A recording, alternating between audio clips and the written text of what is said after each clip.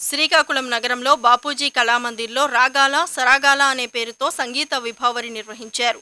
ఈ సందర్భంగా అంబేద్కర్ విశ్వవిద్యాలయం విశ్రాంత ఉపకులపతి సుధాకర్ మాట్లాడుతూ గడచిన దశాబ్ద కాలంగా సంగీత సాహిత్య సేవా రంగాల్లో డాక్టర్ బిఆర్ఎల్ రాజేశ్వరి చంద్రజ అందిస్తున్న సేవలు మరపురానివిగా కొనియాడారు. డాక్టర్ చంద్రజ రచించిన మనసు విన్న కథలు సంకలనం పుస్తకావిష్కరణ చేశారు.